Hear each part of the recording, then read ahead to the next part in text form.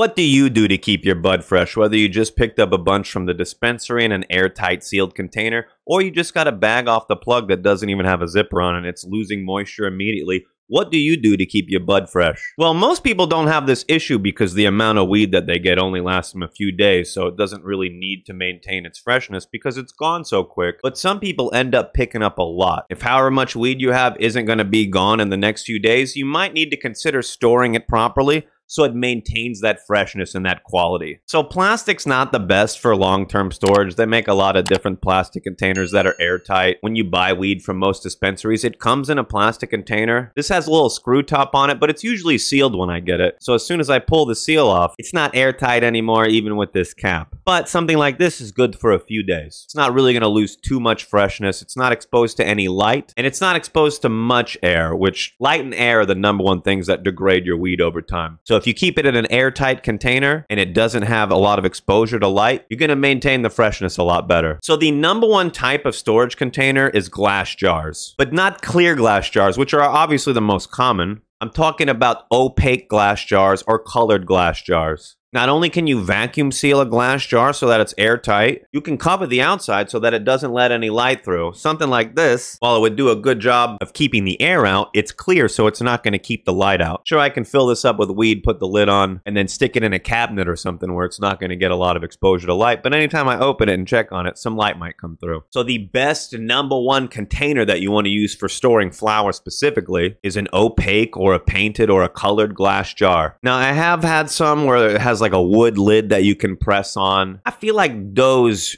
kind of wick out some of the moisture. So I do prefer ones with like a metal lid or the glass lid with the latch. But you can also get airtight or vacuum sealable glass jars. Now, a plastic bag with a zipper is not really going to keep your weed that fresh. It's going to start losing moisture immediately. And then most plastic bags are clear, so it's going to have a ton of exposure to light. But something like that is good for a few days. Or it's good enough from when you pick it up to the plug to when you take it home and put it in your glass jar. Now, the best temperature to store flower at is about 65 to 70 degrees Fahrenheit. A nice cool temperature, but not cold. If you store it in a hot environment, if I leave my weed outside, I live in Florida, the heat is going to start causing it to lose a lot of moisture. And I've heard of some people storing their bud in the freezer, but that can make your flower brittle, that can make your trichomes brittle and just fall right off the bud. That's one of the steps that they use when they make live extracts is they flash freeze it to preserve the terpenes and the cannabinoids, but it also makes the trichomes fall off easier when you're making ice water hash or dry sift. So you don't really want to store it in the freezer. You don't really want to store it in the fridge. You want to store it in a cool, dark place in an airtight container. So if you already have an opaque jar and it doesn't allow any light through, you might not need to store it in a cabinet, but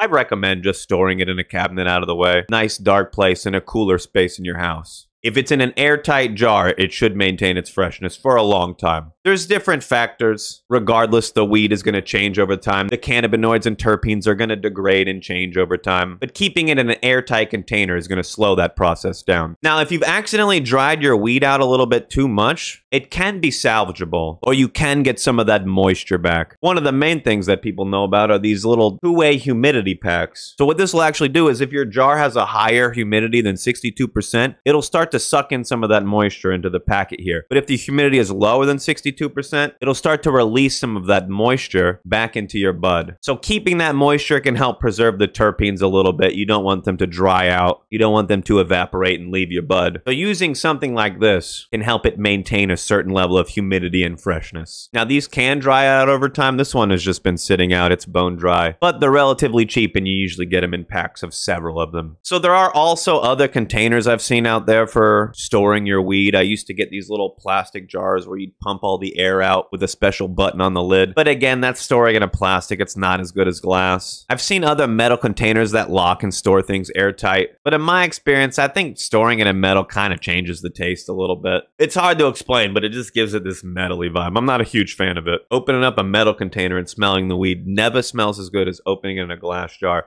I feel like I'm just smelling the metal. Well, I hope this video helps you understand a little more about keeping your weed fresh and how to store it. And honestly, most people really don't need to do that much. If you're picking up an eighth and it's going to be gone in a few days, you don't need to do too much to store it. I live in Florida right now. The humidity is a lot higher. It's like 69% humidity outside, maybe 40 or so percent inside my house. So if I leave something out, it's not going to lose that much moisture. But when I lived in Colorado, there was no humidity there. No humidity at all. Weed dries out so quickly. If I open a container and left it open for too long, it would get dry so quick. Well, I appreciate you watching. Don't forget to check out my Twitch streams. We go live after 9 p.m. for a smoke sesh. We get the bongs and dabs going, so make sure to join me over there. And related to freshness, if you want to hear about why some people don't save kief, check out this video right here. Thank you for watching, and I hope you have a lit day, my dudes.